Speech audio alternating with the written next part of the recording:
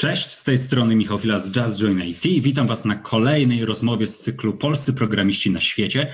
Dzisiejszy livestream będę miał przyjemność e, prowadzić, rozmawiać z moimi wspaniałymi gośćmi. To Agnieszka Kotowicz-Pogoda, Customer Support Engineer z firmy Ericsson. Cześć Agnieszka. Cześć. I Paweł Szydło, Senior Software Developer również z firmy Ericsson. Cześć Paweł. Czołem. Na początku bardzo Wam dziękuję, że zgodziliście się wziąć udział w tym, w tym live streamie i że będziemy mogli sobie porozmawiać o Waszych doświadczeniach związanych E, z projektami, z pracą e, w Japonii i Chinach. E, na pewno wielu naszy, naszych, naszych widzów, naszego community jest zainteresowanych tym, jak wygląda praca właśnie w Azji. Zwłaszcza, że jakiś czas temu mieliśmy okazję porozmawiać z Łukaszem Orłowskim z Singapuru, który również podzielił się swoimi doświadczeniami. A dodatkowo oczywiście będziemy rozmawiać o waszej ścieżce kariery, o tym jak zaczynaliście, skąd pomysły i pasja na programowanie. E, no i jak teraz obecnie się realizujecie w, w czasie, kiedy wszyscy musimy być e, w kwarantannie, obowiązkowej kwarantannie. Zanim przejdziemy do rozmowy, to ja tutaj bezpośrednio zwracam się do naszego community. Pamiętajcie, że cały czas podczas trwania naszego livestreamu możecie zadawać pytania, e, jeśli macie do Agnieszki, do Pawła. E, mam nadzieję, że będziecie aktywni. E, pamiętajcie, że jesteśmy obecni na Facebooku, jesteśmy na YouTubie, jesteśmy w, we wszystkich dla nas ważnych grupach na Facebooku również. Także bądźcie z nami. Mam nadzieję, że te najbliższe półtorej godziny naprawdę miło nam tutaj będzie mijało. No dobrze, w takim razie już przechodzę do naszej rozmowy. E, na samym początku porozmawiamy oczywiście o, o, początkach programowania, o tej pasji. I Agnieszka, ja chciałem Ciebie zapytać, e, jak to się stało, że zainteresowałaś się e, takim tematem właśnie jak, jak programowanie, informatyka, no bo z tym też były związane Twoje studia przecież. Tak, studiowałam przede wszystkim telekomunikację, mhm. ale na magisterkę poszłam właśnie na informatykę mhm. żeby to, e, te dwa tematy ze sobą połączyć, bo zdecydowanie bardziej mnie interesuje ta część telekomunikacyjna, ale no nie mhm. ukrywajmy, że informatyka i programowanie jest e, dużą częścią e, mhm. tej branży. Okej. Okay. Jak to się stało, że ta, ta pasja gdzieś tam w tobie, powiedzmy, wykiełkowała? Jak to się okazało, że to, to jest właśnie to, poczułeś, że, że programowanie, telekomunikacja, informatyka to jest to coś, co chcesz robić po prostu w życiu, spełniać się w tym zawodowo? Wydaje mi się, że to, jest, że to wyszło tak bardzo naturalnie, bo e, zawsze lubiłam jakieś takie łamigłówki, e, mhm. e, lubiłam rozwiązywać jakby zadania logiczne i, i jakby zauważyłam, że to się niewiele różni od tego, co się e, robi podczas programowania, podczas jakby tworzenia algorytmów. E, tak więc dla mnie to było dość naturalnym takim przejściem z, ze, ze studiów, żeby, znaczy najpierw z liceum, tak, e, i później przez studia, żeby jakby kontynuować to dalej. Mhm. E, rozumiem, że matematyka była dla ciebie bardzo prosta w szkole średniej, później na studiach, tak? Nie miałeś żadnych trudności akurat z tym przedmiotem. O tak, tak. I, I, czasami właśnie to mm, wydawało się niektórym ludziom, że, mhm. um, że jestem wręcz niegrzeczna czasami, że um, dla mnie matematyka jest taka e, prosta i jak nawet coś tłumaczyłam, to no, ja nie rozumiałam, jak ktoś czegoś nie może rozumieć, tak? Więc. Musielibyśmy no, się kiedyś spotkać niestety. i możesz mi spróbować wytłumaczyć na przykład logarytmy. Zobaczymy, pewnie, pewnie wrócisz do czasów licealnych w takim razie. E, tak, a zdarzało ci się a, a, poprawiać nauczyciela? E, podczas zajęć? O nie, nie, tak to to nie, nie, tak nie. Nigdy nie byłam jakimś geniuszem matematycznym, co to to nie, mhm. bo po prostu lubiłem to i to przychodziło mi z łatwością. Mhm. A Paweł, u siebie jak? Bo też e, dowiedziałem się, dowiedziałem, wyczytałem, przygotowałem się, że też e, studia techniczne, jesteś po studiach technicznych, więc jak u ciebie ta droga od momentu, kiedy stwierdziłeś, że może to jest właśnie to do, do samej realizacji, czyli podjęcia pierwszej pracy, jak, jak ta droga przebiegła? Czy u mnie ta droga się zaczęła, szczerze mówiąc, od informatora Agiechu, bo mhm. wiedziałem, że chcę iść na Agiech, tak? To znaczy tam mhm. aplikowałem jeszcze w inne miejsca, ale przeglądając Agiech czułem, że to jest ta uczelnia, na którą chcę iść. No mhm. i, i tak szczerze mówiąc wybrałem robotykę, bo no to, to brzmiało kusząco. Tak naprawdę nie koncentrowałem się na samym programowaniu tak naprawdę, tylko ekscytowała mnie potencjalna wizja programowania robotów, prawda? Czyli takich mhm i zimnych wielkich maszyn, które jak się człowiek pomyli, to, no, to mogą wyrobić, narobić szkód, prawda? Mhm. Także y, tak naprawdę to programować zacząłem tak i taką pasję do czego czuć, zacząłem czuć późno, bo gdzieś na czwartym roku, pamiętam, to były systemy wizyjne i napisałem program do generacji trajektorii dla obrabiarki CNC y, właśnie w C, w C, C, to napisałem. I generalnie dla mnie tak naprawdę w tym, tu gdzie teraz pracuję, najważniejsze jest raczej obcowanie z technologią i, i, i to, a nie bardziej samo programowanie jako takie. Także od zawsze się czułem, tak znaczy od zawsze, od, odkąd poczułem tak naprawdę, czym jest sterowanie te, i tą teorię na studiach chłonąłem, to czułem, że to mnie, to jest ta część, która mnie bardziej fascynuje tak naprawdę w inżynierii, hmm. a nie Czyli nie samo programowanie sztuka dla sztuki, tak? Czyli gdzieś tam, gdzieś tam e, dalszy cel, który, który za tym po prostu, za tym po prostu idzie. E, e, Agnieszka, wiem, że zaczynałaś swoją przygodę gdzieś tam z tymi językami niskopoziomowymi, prawda? Porównując z dzisiejszymi czasami, no, gdzie wydaje się przynajmniej z mojej perspektywy, że no, to nie jest pierwszy wybór, jaki podejmują ludzie, kiedy myślą o tym, żeby swoją karierę zaczynać jako programiści, programistki, tylko raczej uderzają w te, nazwijmy to w, cudzysłowie oczywiście prostsze technologie, bardziej związane z frontendem.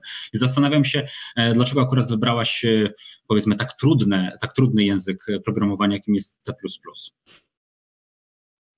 Aha, znaczy to kolej, kolejny um, powód, znaczy kolejna przyczyna była naturalna jakby, bo w mhm. telekomunikacji e, jest natura, powtarzam te same słowa, ale e, generalnie wybiera się języki programowania, e, które e, lepiej zarządzają pamięcią mhm. i, i pewnych języków po prostu nie da się używać, a może tak, inaczej. Mhm. Więc jakby grupa, która do tych języków, które się używa, no C++ mhm. jest do, jest jednym z najlepszych rozwiązań. Tak, C++, C, jeżeli mówimy bardziej takim no, niskopoziomowym e, bądź assembler, a mhm. E, assemblerowe języki dedykowane do platformy, na których programowaliśmy. Więc mhm. znowu wynika to troszeczkę z charakterystyki systemów czasu rzeczywistego. Mhm, Okej, okay. no, brzmi dość enigmatycznie dla kogoś, kto nie jest e, programistą, także muszę ci uwierzyć na słowo. Ehm, Paweł, bo, Paweł, bo u ciebie też było podobnie, prawda? Też wybrałeś te, powiedzmy sobie, trudniejsze języki, takim też jak C++ i zastanawiam się, e, czy to wynikało z toku studiów, czy może po prostu z twojej jakiejś, jakichś twoich zainteresowań, które, które się ujawniły właśnie podczas studiowania. To wynikło bezpośrednio z toku studiów. To znaczy albo się programowało w jakichś językach, nie wiem, czy w MATLABie, czy, czy faktycznie w VHDL-u, czy w jakichś językach opisów sprzętu, nawet tych niskopoziomowych, jak mhm. assembler, a tak naprawdę wszystko wyżej, to mhm. tok studiów był taki, żeby na, nas, że tak powiem, wrzucić jak najwcześniej w tą ścieżkę, powiedzmy, rozwoju oprogramowania, programowania mhm. sprzętu, więc tak, więc to tak naprawdę wynikało ze studiów. I też musimy sobie zdawać sprawę, że no, ja kończyłem studia już kawał czasu temu, więc mhm. tak naprawdę to, co teraz uznajemy jako prostszym językiem programowania, wtedy, wtedy na to się patrzyło tak na zasadzie może trochę zabawki. Jak ktoś mhm. chciał być porządnym inżynierem i robić jakieś poważne rzeczy, to musiał mieć podstawy z assemblera, żeby wiedzieć, co gdzie, którędy przejdzie. Mógł pisać y, w C, które później mu generowało assemblera. No, taka była ścieżka zawodowa i tak naprawdę nie żałuję tego, bo ewidentnie mhm. dobrze się czuję tu gdzie, tu, gdzie jest tak naprawdę niżej. Im bliżej dla mnie sprzętu, tym, tym bardziej swobodnie się czuję. Okej, okay. a pamiętasz swój pierwszy projekt, jaki, e, czy pierwszy kod, jaki napisałeś, e, będąc może nie jeszcze pełnoetatowym programistą, ale gdzieś tam w toku studiów, czy może jeszcze przed studiami? Mm, pierwszy program, no nie pamiętam. Kalkulator zapewne. Powiem szczerze, chyba bardziej, bardziej na mnie wrażenie, znaczy tak, żeby mi wyryło w pamięć, to robiliśmy może i kalkulator, ale o dziwo na y, laboratoriach z elektroniki, to było w assemblerze albo jakaś obsługa klawiatury na przykład numerycznej, czy coś tego typu. Także to bardziej, że tak powiem, utkwiło mi w pamięci, bo jednak faktyczne przełożenie tego, że tutaj coś naciskam i, i, faktycznie to moje dzieło jest, że ten sygnał generuje później na przykład tą, tą, tą, tą kreseczkę, która się wyświetla na, na tym cyferblacie, nazwijmy to, e, no to było coś, co mi utkwiło w pamięci, jakiś tam pierwszy prosty program. No oczywiście zaczęło się od Hello World, no ale to tak no, Chyba każdy programista tak zaczynał, prawda? Pewnie, że tak. No. A Agnieszka, u ciebie? Pamiętasz swój pierwszy kod, program, który napisałaś? No to będzie Hello World zapewne. Ale... A coś bardziej skomplikowanego? E, poza, poza Hello World? Bo zastanawiam się, czy coś takiego po prostu tknęło ci w pamięci, e, takiego istotnego dla ciebie, związanego właśnie ze stworzeniem pierwszego programu, który, który wyszedł spod twoich palców. E, no bo czasami patrzy się na to trochę tak jak na swoje dziecko właśnie, że które się potem, mhm. e, które się może m, mm, następnie rozwija, tak, ale gdzieś coś, co jest debiutanckie, coś, coś pierwsze, e, dużo bardziej tak, człowiek się bardziej chyba do tego przywiązuje.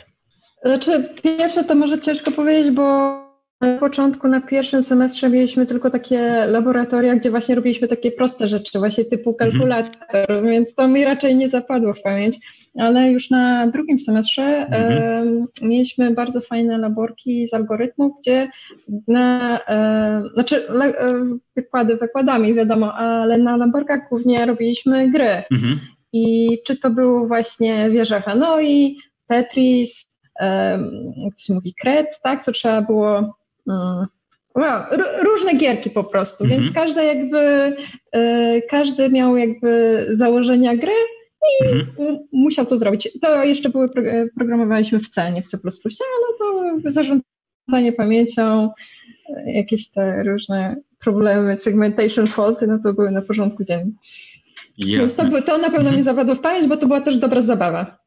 I wtedy rozumiem, nie myślałaś o tym, żeby pójść może w game dev, który może nie powiem, że raczkował, ale na pewno nie był na tak zaawansowanym poziomie, jak jest dzisiaj.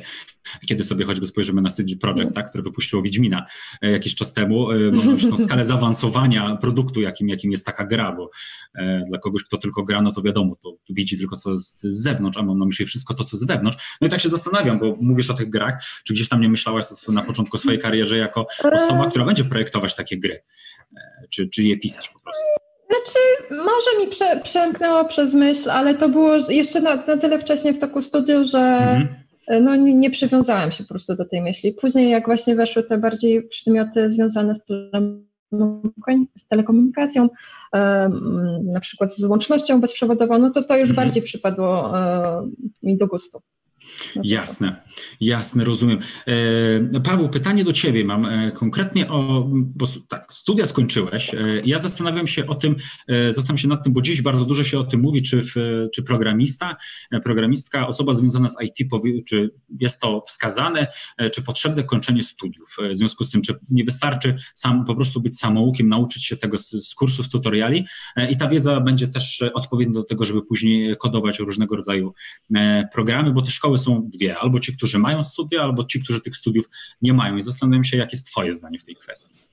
Jako osoby, która skończyła bardzo jedną z najlepszych szkół technicznych w Polsce, jedną z najlepszych też w Europie przecież. Zawsze jak ktoś pyta mnie o to, to mówię to mhm. samo, co kiedyś na studiach powiedział mi trener na kung fu.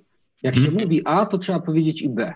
To znaczy, jak ktoś nie ma ochoty iść na studia, to niech się uczy z kursów, jak najbardziej. Jeżeli uda mhm. mu się znaleźć pracę, chociaż też trzeba wiedzieć, że w szukaniu pracy jednak bycie, czy to studentem, już sam fakt niższego ZUS-u i tak dalej ułatwia znalezienie pracy, to, mhm. no to jednak jak się zaczęło studia, to dla mnie osobiście to jednak jest, e, pokazuje, że człowiek jest w stanie dokończyć coś, co zaczął, prawda? Mhm. Także ja uważam, że jak ktoś już poszedł na studia, no to, to powinien skończyć, szczególnie, że tak naprawdę praca magisterska czy praca licencjacka to jest tak naprawdę pierwszy taki realny sprawdzian, kiedy można mi powiedzieć, że to, co robiliśmy samodzielnie, mhm. działa, tak? To jest tak ten moment weryfikacji. No, tak przynajmniej ja to widzę.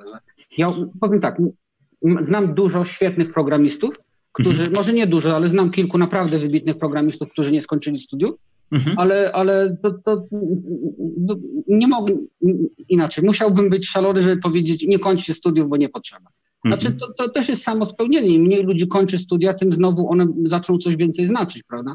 Ja kończyłem studia 10 lat temu, czy tam ile to było, no to wtedy studia, powiedzmy, że dyplom miał prawie każdy. Teraz jest trochę tego, tego mniej, bo faktycznie ludzie się zaczepiają i stwierdzają, że już kariera ruszyła z kopyta, to po co, tak? Ale ja mhm. uważam, że trzeba dla własnej satysfakcji, no tak mówię, jak się mówi A, to trzeba pójść za ciosem i powiedzieć B.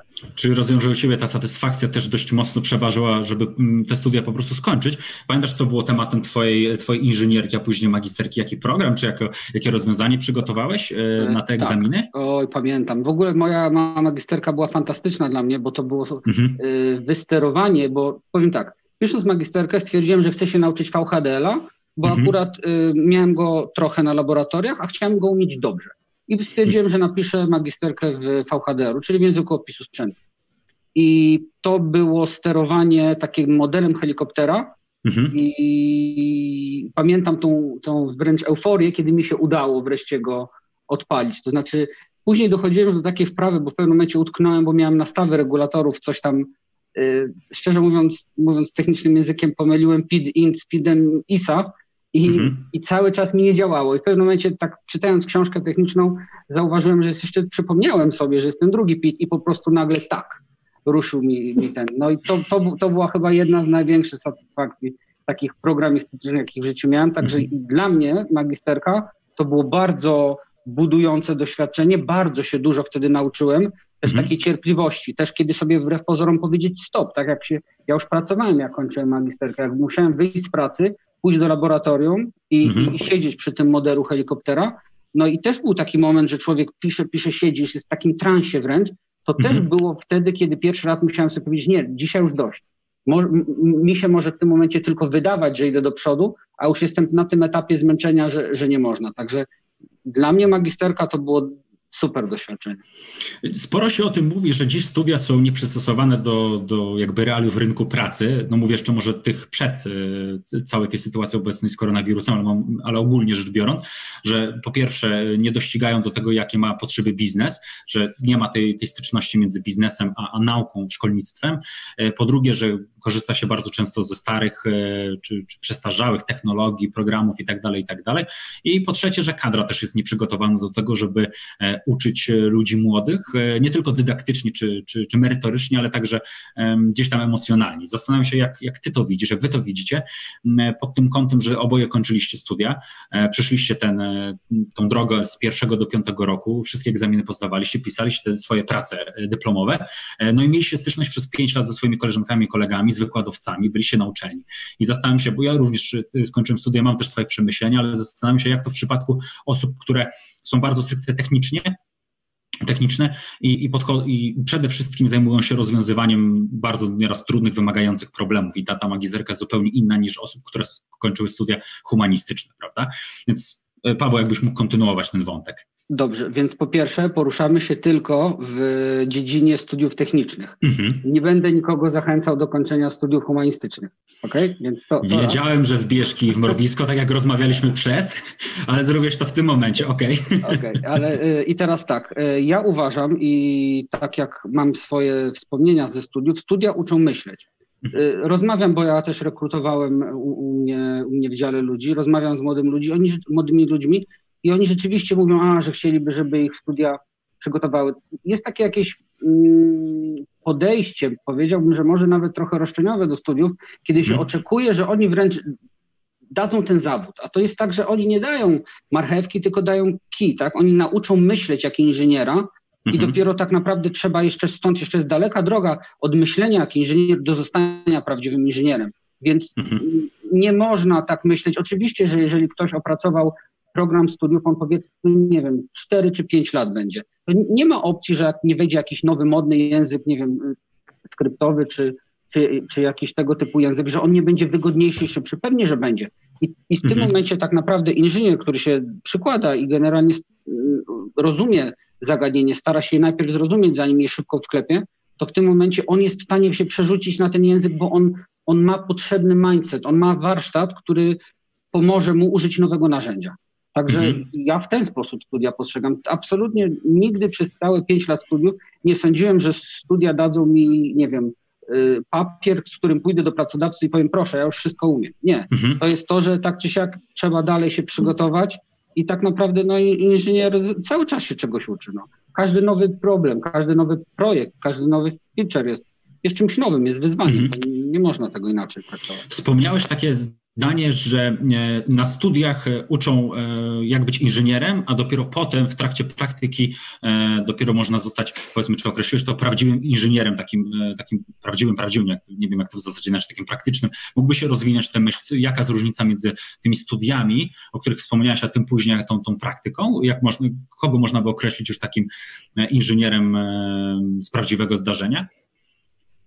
No to jest bardzo trudno, e, trudne pytanie do odpowiedzenia, bo to jest taki gut feeling tak naprawdę. To nie można, e, nie, nie da się tego w jakieś sztywne ramy e, wsadzić, ale tak jakbym to określił, że jak już ktoś naprawdę, że tak powiem, jest samodzielnym inżynierem, to jest mhm. ten, ten moment, kiedy tak naprawdę on już realnie kombinuje. Czyli mhm. w tym momencie już nawet. Yy, I teraz też trzeba jeszcze sobie jedną rzecz powiedzieć, bo dobry, dobry inżynier oprogramowania to jest osoba, która, że tak powiem, nadzoruje cały ten proces, a nie tylko kodzenie. Tak? Mhm. Jeżeli napisze kod, to też, jeżeli akurat tak jest projekt yy, zarządzany, to jeżeli na jego zadaniem jest ten kod przetestować i brać później odpowiedzialność, rozwiązywanie jakichś problemów, które później wychodzą, to też po tym można poznać dobrego właśnie inżyniera oprogramowania, że on generalnie, mówiąc kolokwialnie, nie miga się od tego, żeby później poprawiać swój kod, prawda? Mhm. Że nie być do tego zmuszany, ale pojawia się błąd z własnego kodu i się nie czeka tylko, może ktoś go weźmie. Nie, tylko dobra, to jest mój kod, ja jestem na świeżo, ja robiłem, ja poprawię. Taka mhm. odpowiedzialność. Tu bym powiedział, że jest ta granica, kiedy tak naprawdę ktoś staje się dobrym inżynierem. Ta, ta, te, tak naprawdę wytworzenie w sobie odpowiedzialności za swoją pracę. Że to nie jest już tylko właśnie jakiś projekt czy coś, tylko się bierze odpowiedzialność jako profesjonalista, jako zawodowy za swoją mhm. pracę. Okej, okay. E, to bardzo cenne, co powiedziałeś. Myślę, że dla wielu osób, którzy nas słuchają, szczególnie mam na myśli e, juniorów, którzy myślą, czy, czy myślą o w ogóle zaczęciu pracy e, jako programista, powinni sobie wziąć te słowa do serca, że przede wszystkim to brać też odpowiedzialność za to, co się, za to, co się pisze, jak, jaki kod się pisze. Agnieszka, u Ciebie, jak to było? Twoja praca magisterska, inżynierska, Twoje doświadczenia właśnie związane z tokiem studiów i, i z tym, o czym, o czym przed chwilą też tutaj Paweł wspominał. E, o tej być może przestarzałej gdzieś tam, e, tym przestarzałym toku nauczania i tak dalej. E, bo Paweł dość mocno tutaj stanowczo stwierdził, że, że tak trochę nie jest. Um, hmm. to tak w sumie w Zgadzam się z Pawłem e, w takim mhm. sensie, że, um, że te studia, jak w momencie, gdy zaczynamy, mogą być już troszeczkę nieaktualne, kiedy je kończymy. Mhm. Dlatego um, nie, nie możemy tak patrzeć tylko i wyłącznie po, e, na studia przez pryzmat programu, który tam widzimy, bo papier wszystko przyjmie. Oni mogą napisać, że będą tam super zajęcia, nauczymy się wszystkiego, a później jak Mhm. E, skoczymy te studia i, i sami się do tego nie przyłożymy, to tak naprawdę nic nie będziemy umieć. Więc oprócz takich studiów ważne jest też, żeby brać udział e, w dodatkowych e, rzeczach, być na przykład w samorządzie studenckim, czy uczęstniać na, na koła naukowe, mhm. brać udział w praktykach letnich, bezpłatnych czasami, bo jeszcze teraz to jest nie do pomyślenia oczywiście, ale jeszcze jak ja studiowałam, to jeszcze zdarzały się bezpłatne albo niskopłatne y, mhm. praktyki, nawet w, w branży IT.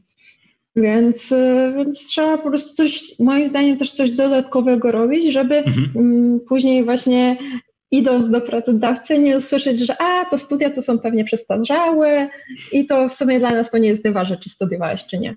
Więc mhm. jakby trzeba mieć takiego asa w rękawie, my, myśląc o myśląc o szukaniu pracy.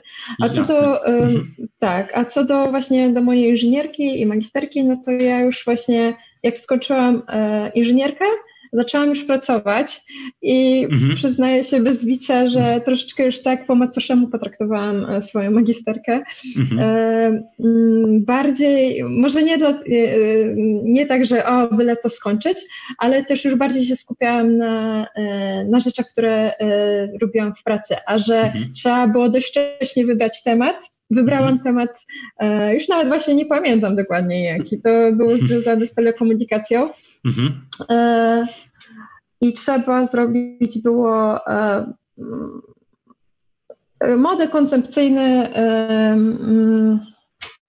łączności bezprzewodowej i teraz nie pamiętam, czy na, na Politechnice i tak dalej. To robiłam mhm. w takim pro, programie Omni. Więc, więc z, z, zrobiłam to. Były też tam oczywiście zawsze jakieś problemy. Też zawsze się cieszyłam, jak mi się udawało mhm. rozwiązywać kolejne problemy i, i szłam dalej.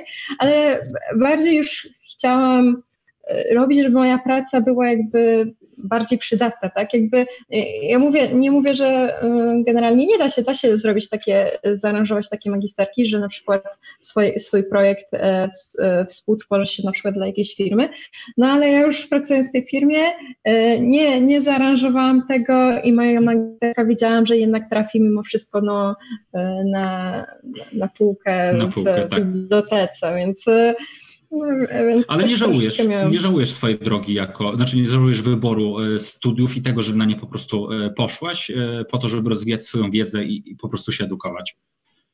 Nie, oczywiście. To, I tutaj po raz kolejny zgadzam się z Pawłem, że rzeczywiście studia uczą e, jak się uczyć, bo mhm. wiadomo, że nie, nie jesteśmy się w stanie nauczyć wszystkiego na studiach, a jeżeli ma się umiejętność e, czytania ze zrozumieniem, e, mhm. skupienia się na wykładowcy, wiem, że studenci nie, nie lubią chodzić na wykłady, ale to jest naprawdę, można naprawdę dużo zdobyć wiedzę i jeżeli nie nauczymy się jak słuchać, jak przyswajać wiedzę, jak robić notatki, co jest bardzo super mhm. umiejętnością, żeby zapamiętać dany materiał i to nieważne, czy słuchamy wykładowcy na studiach, czy słuchamy tutorialu e, na, na YouTubie.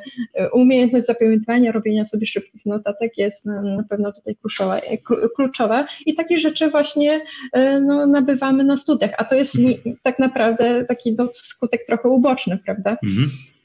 Jasne, jasne. Cieszę się, że, cieszę się, że tak, e, tak fajnie wypowiedzieliście się na temat studiów, bo e, bardzo często w, w, internecie można poczytać dyskusje na temat właśnie studiów technicznych, czy są potrzebne do tego, żeby być e, w przyszłości programistami, programistkami. I fajnie, że to tak nam się tutaj ładnie klamrą spięło, że jednak warto na te studia pójść, bo one mają bardzo dużo Chociaż, wartości znaczy, dodanej. Tak, y, tak. Na pewno, ale na pewno nie, nie stwierdziłabym, nie, nie, nie chcę mówić, że ja kogoś namawiam, że jakby, y, że musisz pójść na studia, bo inaczej ten. Ja, ja, ja uważam, że to jest decyzja każdy, każdej z oso- każdy, mhm. każdego z nas. I jeżeli ktoś stwierdzi, że nie pójdzie na te studia, okej. Okay. Ja, mhm. Jak dla mnie to jest naprawdę. Jasne, rozumiem. Równie dobra decyzja. Ja wiadomo, nie ma też do niczego, niczego nikogo zmuszać, bo też nie o to chodzi, żeby, żeby się w cudzysłowie męczyć na studiach, jeżeli nie widzi się w nich wartości dodanej. E, Pojawiło się pierwsze pytanie od widza, które zadam właśnie teraz. Nie, nie, będę czekał do tej drugiej części, dlatego że myśl jest bardzo w temacie, o czym właśnie rozmawiamy. Ja tylko napomnę, że cały czas czekamy na Wasze pytania, e, droga społeczności, także jeżeli macie pytania do naszych gości, śmiało piszcie. Padną, mam nadzieję, wszystkie. No chyba, że nas zasypiacie, zasypiecie taką ilością pytań, no to najwyżej będziemy tutaj siedzieć do 23. W każdym razie, e, słuchajcie, mam takie pytanie do Was e, od Jakuba Frydrycha jeśli chodzi o ono, studia dzienne czy zaoczne, zwłaszcza w kontekście nabycia doświadczenia w zawodzie. Czy 5 lat doświadczenia nie przewyższy 5 lat studiów? Paweł, może ty.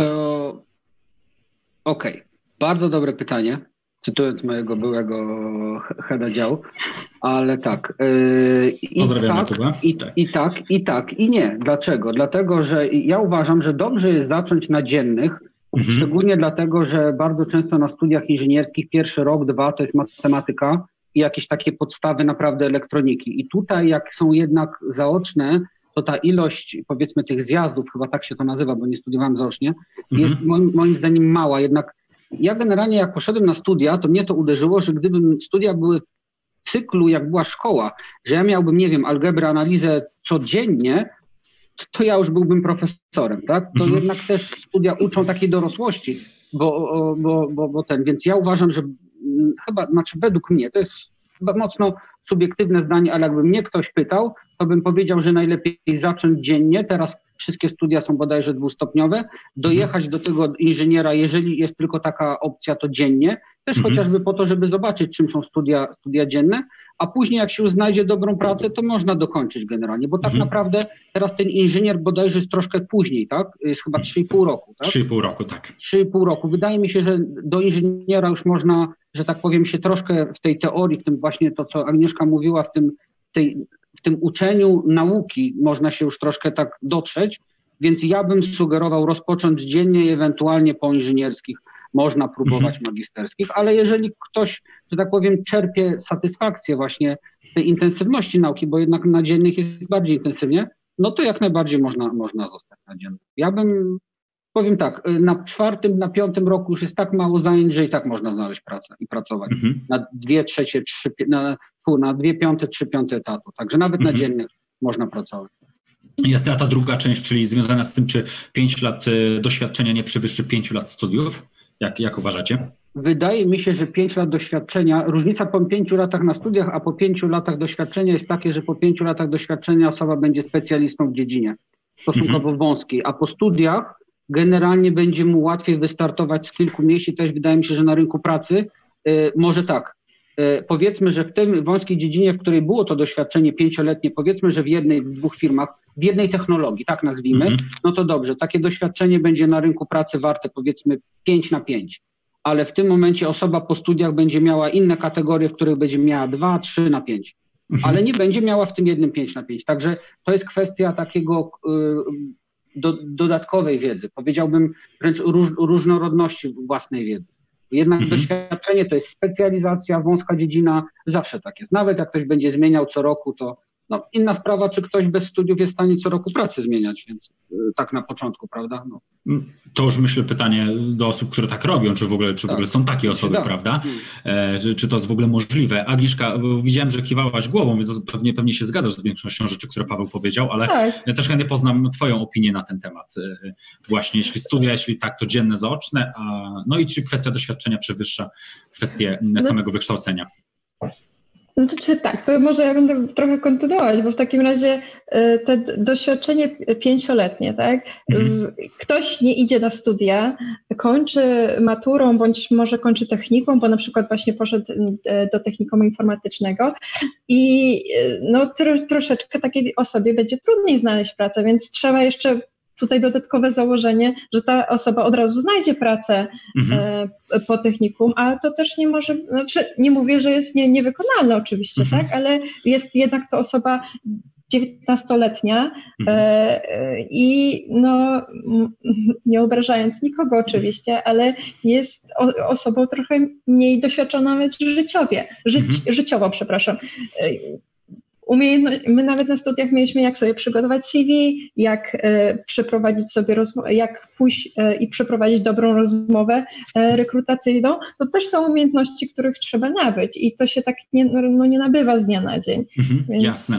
A więc, Michał, mogę? Tak. Przepraszam, tylko jedno rzecz. Michał, tak, tak. bo ty pewnie wiesz lepiej, czy taka osoba będzie miała niższy ZUS, bo wbrew pozorom to może być kluczowy na rynku pracy.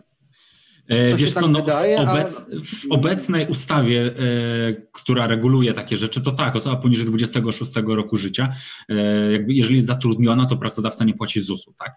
E, jest ten, ten... A, no tak, no to teraz... Znaczy nie płaci ZUS-u, bo to, to, to płaci, znaczy to jest, to jest jakby finansowane przez państwo, Natomiast y, też obecne ustawodawstwo powoduje to, że jest PIT 0%, więc osoba poniżej 26 roku życia e, nie, jakby nie musi zapłacić podatku dochodowego od swojego wynagrodzenia, prawda? Więc e, dostaje o te tam kilkaset złotych w zależności od umowy więcej jakby do pensji do, do ukończenia 26 mhm. roku życia. Więc to jest kwestia już myślę czysto podatkowa i to też można roztrząsać, co jest lepsze e, w przypadku, kiedy jest powiedzmy się senior deweloperem, zarabia się powiedzmy kilkanaście tysięcy złotych, co jest lepsze, czy umowa o pracy, czy jednak samo zatrudnienie prawda? W zależności tak naprawdę, co jest korzystniejsze podatkowo. Ale myślę, że to jest, znaczy tutaj można by naprawdę akademicką dyskusję prowadzić, czy UOP, czy B2B, bo takich dyskusji już naprawdę y, naczytałem się bardzo, bardzo dużo i myślę, że co człowiek to, to opinia y, w tej kwestii.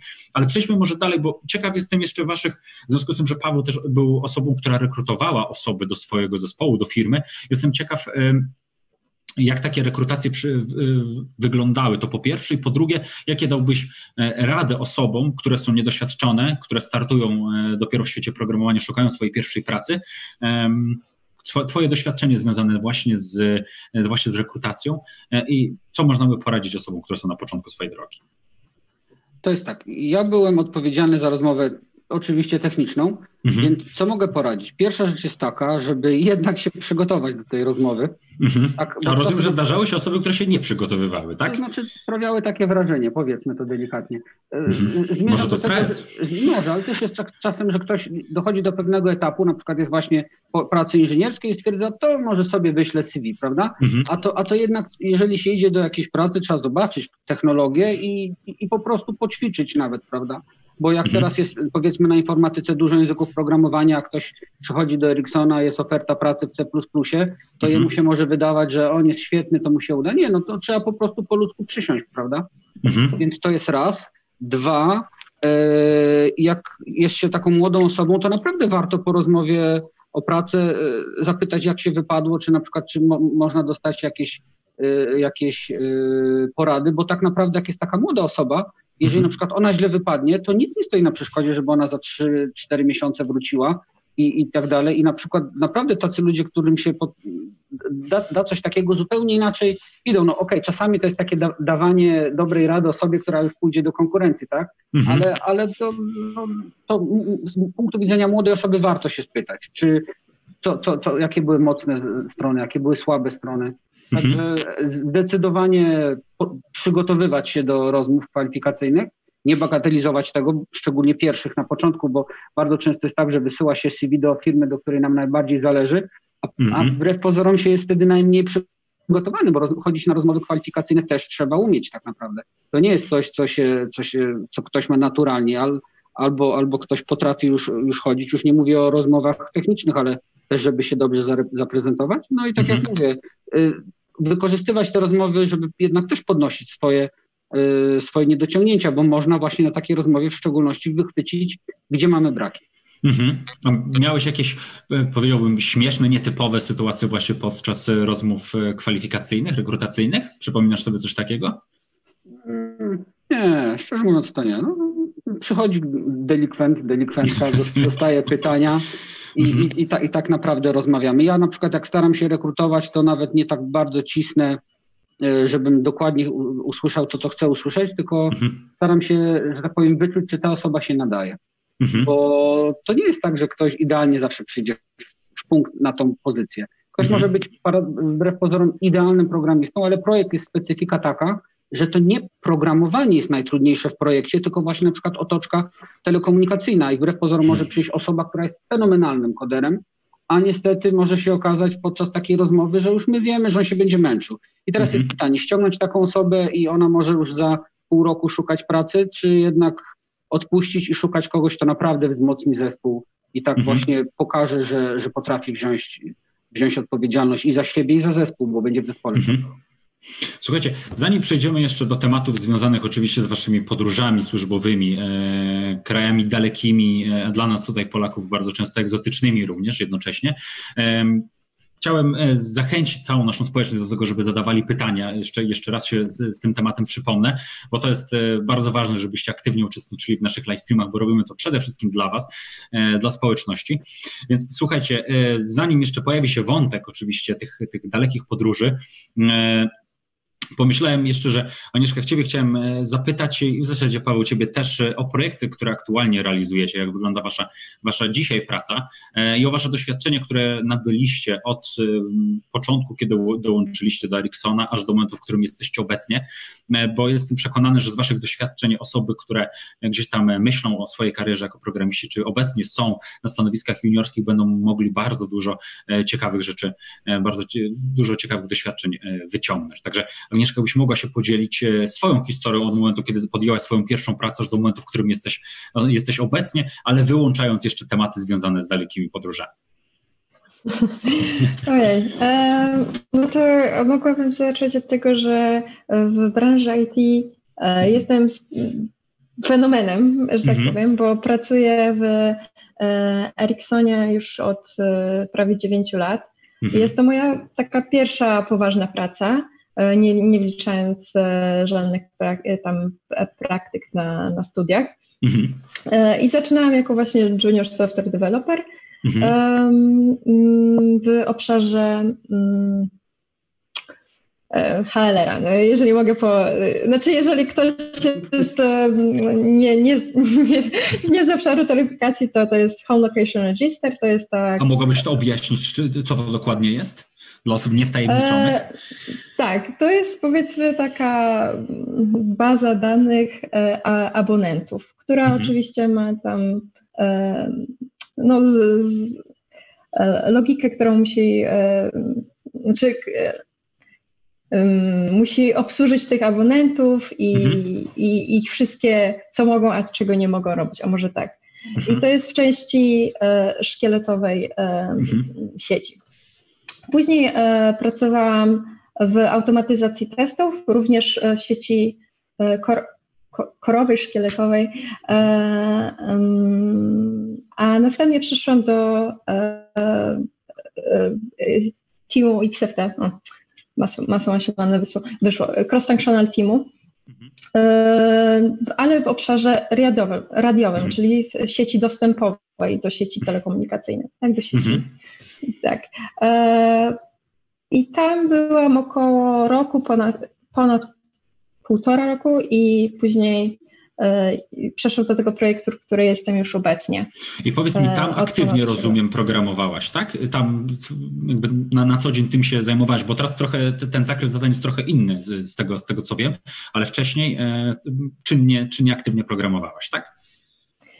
Tak, tylko że w, w, tych początkowych projektach pracowałam w maintenance, mhm. E, czyli bardziej bugfixy, szukanie błędów, mhm. root cause analysis e, i tak dalej, i tak dalej. E, a w, w części radiowej w standardzie LTE pracowałam mhm. właśnie nad nowymi feature'ami, mhm. więc no, czy to pisanie kodu, czy też pisanie testów, mhm. czy tej okropnej dokumentacji technicznej, ale no to, to wiadomo, jak to tam projekt akurat wymagał. Mhm. Paweł, a jak u Ciebie było? Więc tak, moją pierwszą e, pracą była praca w wdrożeniówce, w firmie, która się zajmowała instalacją robotów przemysłowych. Te mhm. pięć miesięcy bardzo dobitnie uświadomiło mi, że nie chcę pracować we wdrożeniówce.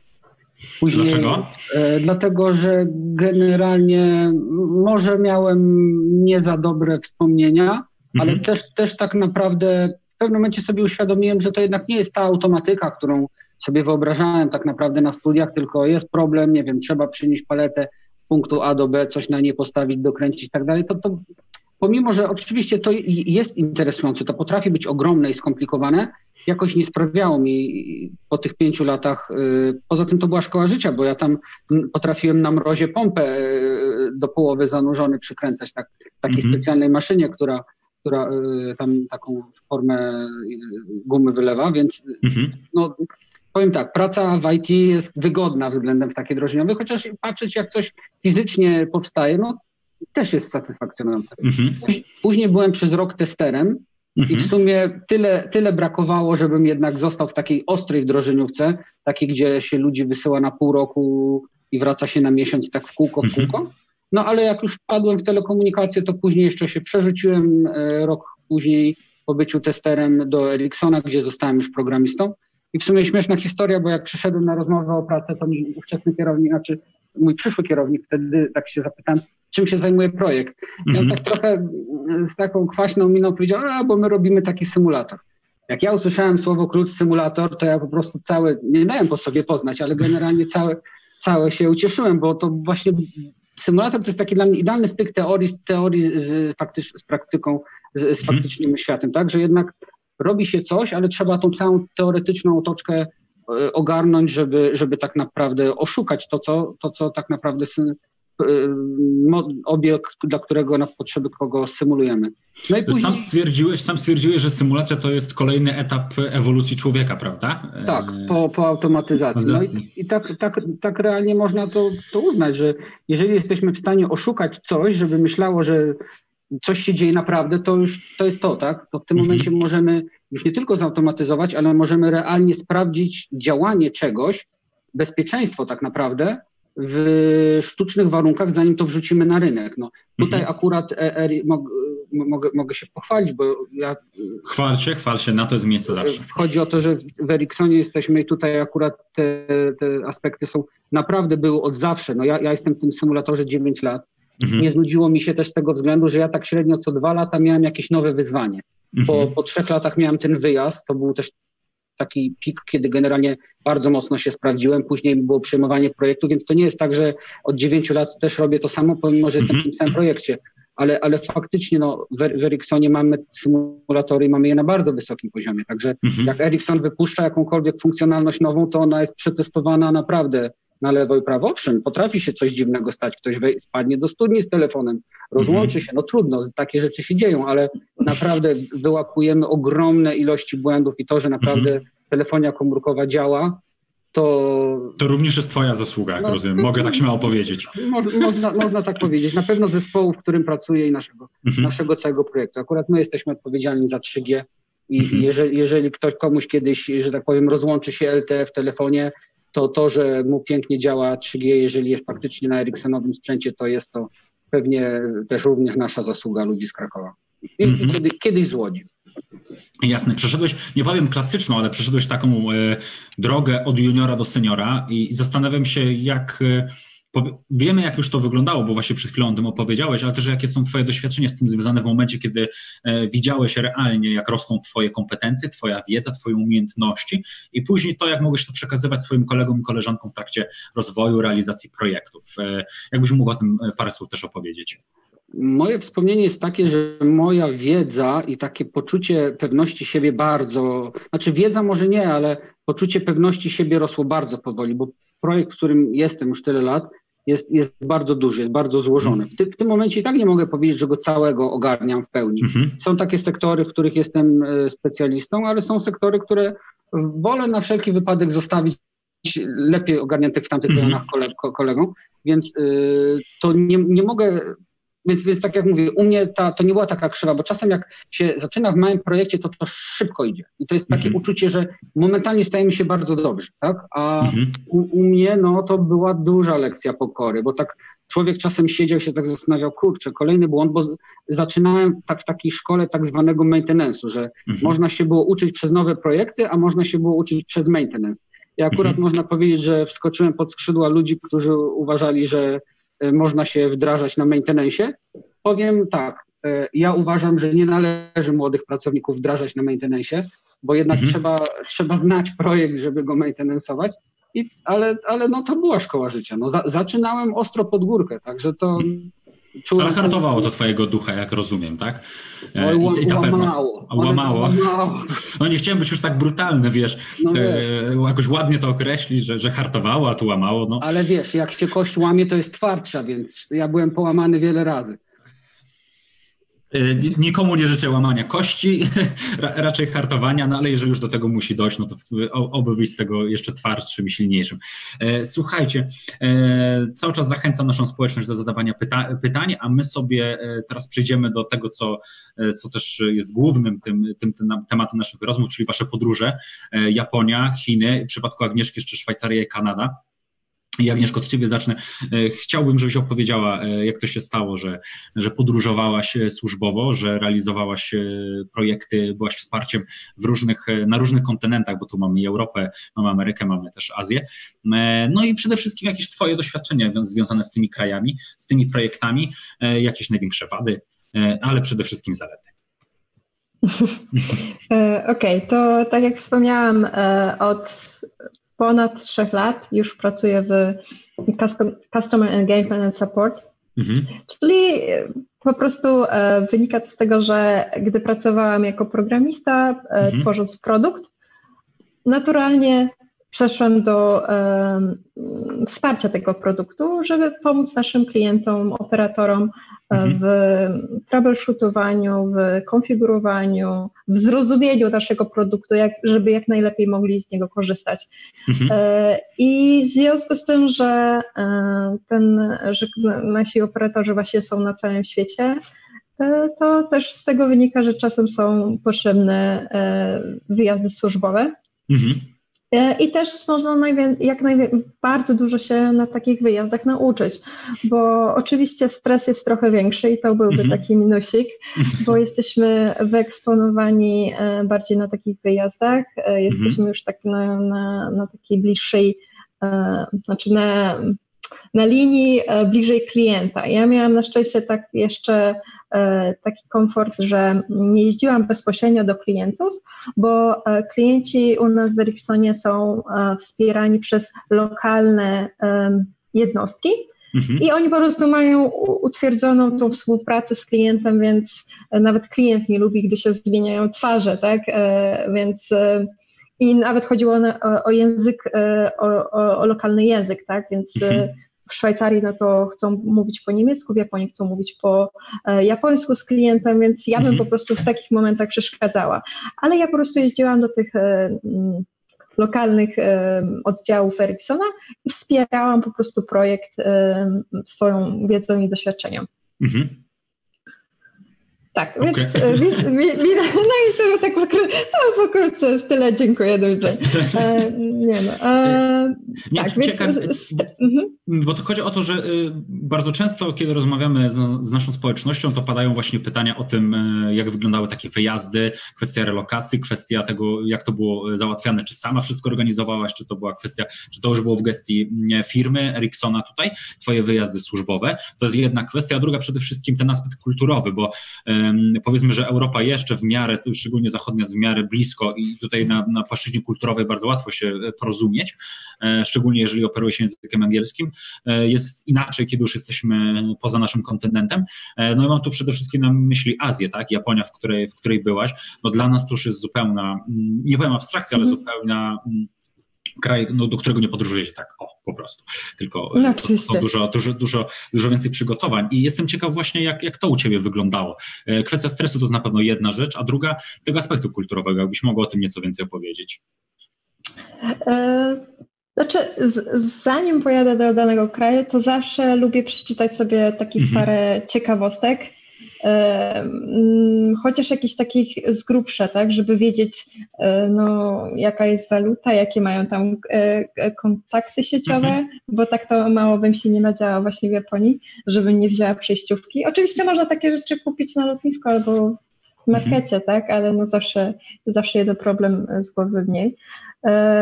Więc, więc lubię jakieś takie pierwsze rzeczy sprawdzić, zanim pojadę do danego kraju. Mhm. Ale tak poza tym, no to mamy taką też wygodę w Ericssonie, że jakieś takie rzeczy jak e, przelot, hotel, E, mhm. to, to wszystko po prostu zgłaszamy. Możemy to sami sobie zorganizować, ale mamy też do tego odpowiednie narzędzia, możemy po prostu zgłosić, żeby ktoś za nas to zrobił. Więc mhm. no, przy, przy, to jest duża wygoda. Tak, oczywiście, oczywiście, bo e, o ile no właśnie czasami można, czasami szybciej jest sobie samemu sprawdzić loty na przykład, mhm. o tyle czasami hotel, no to e, jest tyle tam hoteli, może warto wiedzieć, które są naj, najczęściej wybierane mhm. i tak dalej, no i wtedy warto skorzystać z Y, pomocy właśnie osoby, która się tym zajmuje na co dzień. Mhm. A jak wyglądał codzienny dzień taki twój e, w Japonii, dokładnie w Tokio, bo, bo tam stacjonowałaś, e, także no, jedno z największych miast na świecie e, i jestem ciekaw, jakie wrażenie na tobie zrobiło to miasto, no i też jak wyglądała twoja, twoja codzienność w obcym, mhm. kompletnie obcym miejscu, bez gdzieś tam znajomych, bliskich przyjaciół, rodziny, prawda? Mhm. E, tak, to e, poprosiłam, żeby w Tokio dostać e, mieszkanie, bo też była taka możliwość. Nie chciałam mhm. mieszkać prawie dwa miesiące w, w hotelu. Mhm. Tak więc mieszkam w mieszkaniu na obrzeżach Tokio mhm. i biuro Ericssona jest w Yokohamie, a Yokohama mhm. jest dość sporym miastem też, mhm. ale jest no, po, no, poza Tokio. E, e, ale jest po prostu gdy jeździłam do biura, po prostu jeździłam w drugą stronę niż cały ruch, który jechał mhm. do centrum Tokio, tak więc na szczęście omijały mi te okropne um, chmary ludzi, tak, mhm. ko, nie, no, nie kolki, w, w, w metrze to po prostu, nie wiem, czy widziałeś, są takie y, zdjęcia, jak tokijscy no, kolejarze, nie wiem jak to nazwać, pomoc na metrze, po prostu upycha tych ludzi. I to jest prawda prostu... rzeczywiście? Yy, tak. Też byłaś że... upychana w takim metrze właśnie, żeby dojechać do pracy? Znaczy właśnie na szczęście nie, bo jechałam w drugą stronę, więc ja omijałam e, te najgorsze um, tłumy ludzi. E, no ale jak w weekend jeździłam, jeździłam do takich, e, do mhm. centrum na Shibuya czy coś, no to niestety były ogromne e, problemy mhm. I, I, to nie jest tak, że można pojechać kolejny, bo kolejny też jest zapchany, tak, mhm. pociąg, więc czasem trzeba było kombinować. Ale na szczęście weekendy nie, nie upychali, po prostu jeździły bardzo, bardzo często. No to, to, to, to dobrze, to, to dobry e, punkt e, w takim razie. E, tak, tak więc codziennie jeździłam metę. Mhm. W to, w, generalnie w Japonii, a przynajmniej w branży IT w Ericssonie, dzień pracy się troszkę później zaczynał. Mhm. Trochę tak na przykład dziewiąta, dziesiąta, nawet mhm. niektórzy ludzie zaczynali e, przechodzić do pracy jeszcze trochę później. Mhm. No, wynikało głównie z tego, że chcieli mieć troszkę bardziej zazębić godzinowo się z, e, zazębić godzinowo z Europą. Mhm. E, tak więc zaczynali później, żeby skończyć później po prostu. Tak? I jeszcze móc porozmawiać z, z niektórymi osobami w Europie. Jasne, do realizowanych zadań zaraz przejdziemy, bo to też jest na pewno bardzo ciekawe, żebyś opowiedziała, czym dokładnie się zajmowałaś, ale chciałbym, żeby Paweł powiedział o swojej, e, swoją e, część związaną z Chinami, bo mamy Japonia inaczej zupełnie się kojarzy ze względu na, na inną kulturę, no ale Chiny też, kraj, który jest bardzo zamknięty, e, jedno z mocarstw obecnie światowych. Jestem ciekaw, jak ty odebrałeś swoją podróż do Chin, jak wyglądała codzienność, no i przede wszystkim twoje odczucia związane z tym krajem? Mm, więc tak. No, od początku najlepiej. Od początku. Przyszedł kierownik, powiedział, cześć Paweł, sprawa jest. Powiedziałem, wystarczy, wchodzę w to i pojechałem do Chin. E, więc e, tak w skrócie to wyglądało. A tak naprawdę chodziło o to, że w projekcie poszukaliśmy sposobu, żeby zwiększyć przepustowość naszego projektu, bo nie nadążaliśmy po prostu mhm. z robotą i padła decyzja, żeby próbować może właśnie wciągać inne zespoły, które mhm. również się, zajmowały, które się zajmowały powiedzmy produktem, mhm. dla którego my pisaliśmy symulator, to skoro oni już trochę coś wie, wiedzieli na temat samego procesu, to żeby ich w to wciągać. Więc padła, padł pomysł, że można było właśnie kogoś wysłać do Chin i tam mhm. kilka, kilka zespołów, kilka, kilku, kilkunastu ludzi by się zajmowało też pisaniem y, u nas no, nowych projektów. No i tak mhm. to się stało, że wyjechałem. Skończyło mhm. się tak, że pisaliśmy taki projekt, taki bardzo high profile, bo w ogóle robiliśmy to na wyścigi, by zdążyć do, na targi telekomunikacyjne w Barcelonie. Suma summarum się udało i to był taki fajny projekt, więc generalnie z każdej strony nas naciskali, podpisaliśmy ten projekt. Y, powiedzmy, że na trzech kontynentach, w czterech różnych lokacjach i, i to było szaleństwo tak naprawdę. Mhm. Później, później wnioski były takie, że można było napisać wszystko w Polsce i może by było to lepiej, ale z drugiej strony przygoda i doświadczenie, które zebrałem są tak naprawdę no, bezcenne. No. No z pewnością, jeżeli to się wszystko działo na, na trzech różnych kontynentach, cztery różne strefy czasowe, tak jak wspomniałeś, no naprawdę tak. robi wrażenie, prawda, kiedy się taki projekt realizuje. No, a jeżeli chodzi o sam, sam wyjazd, no to tak naprawdę firma pomagała, najważniejsze to załatwiać wizę i bilety. Mhm. E, hotel wskazałem, bo chciałem móc piechotą chodzić do pracy, też nie było z tym problemu. Mhm. Tak, e, tak to wyglądało. Czyli była bardzo duża dowolność w tej kwestii, tak? E, wyboru miejsca, gdzie się, gdzie się mieszka, czy w przypadku Agnieszki Japonia i możliwość mieszkania, zamieszkania w mieszkaniu, a nie w hotelu przez ten czas, tak samo u ciebie, tak? Tak, ja powinienem, teraz to w sumie żałuję, tak jak Agnieszka mówi, że miała mieszkanie, bo miałam ogromne problemy z praniem bo mhm. mieszkałem w hotelu i nie ma w, Chinach takiej kultury. Dobra. Ja, się ja wiedziałam, ja już wiedziałam. się śmiejecie. Dlatego ja... nie chciałam w hotelu. No, a ja, a ja co drugi dzień e, e, ręce i, i, i prałem ręcznie, ale to, to dlatego, że w Chinach nie ma jak w Stanach pralni, gdzie się wchodzi, wrzuca cztery cztery ćwiartki. A to ciekawe, naprawdę nie ma, nie ma takiej automatyzacji, jeśli chodzi o pranie. Pytałem, pytałem lokalsów, nie znaleźli i tylko najśmieszniejsze jest to, że pani sprzątaczki mi donosiły notoryczne ulotki pralni hotelowej, gdzie pranie z jednych skarpetek kosztowało, nie wiem, 2 czy 3 euro, więc to no, robi wrażenie. Ceny, no generalnie cały Można na tym biznes stanie. zrobić, wiesz. Jeżeli tak. już nie byłoby ci po drodze z programowaniem, to okazuje się, że można w taką stronę pójść. Otworzyć pranie, pranie na, na ćwiartki w Stanach, e, znaczy w Chinach, zgadza się. Więc, to, to, był problem, ale generalnie to ja wyglądało tak, że mój dzień wyglądał tak, że wstawałem, w hotelu miałem śniadanie, mhm. najadałem się, szedłem do pracy, wychodziłem z pracy, jadłem obiad i, i, i wracałem.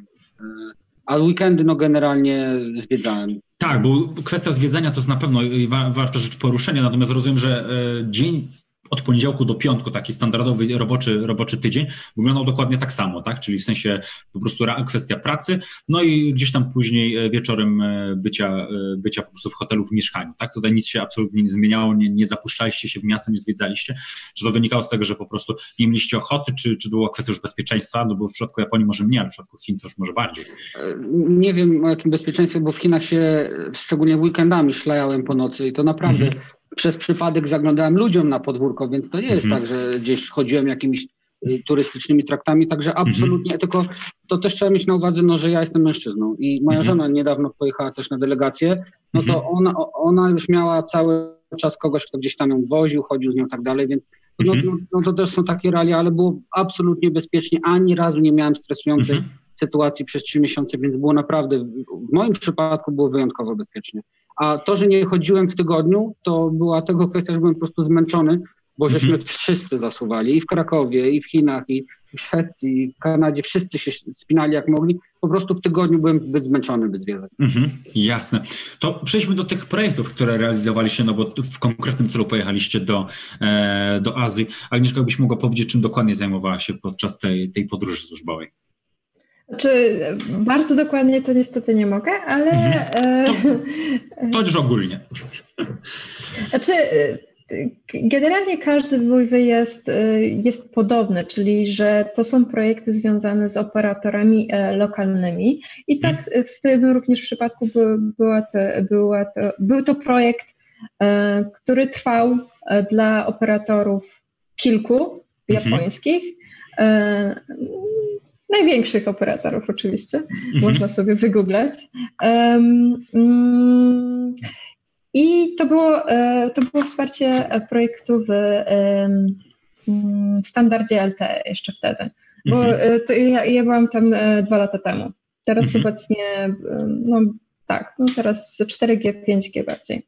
Mhm. I, I te zadania po prostu były różnorodne w zależności co inżynierowi tam, inżynierowie lokalni w danym momencie testowali.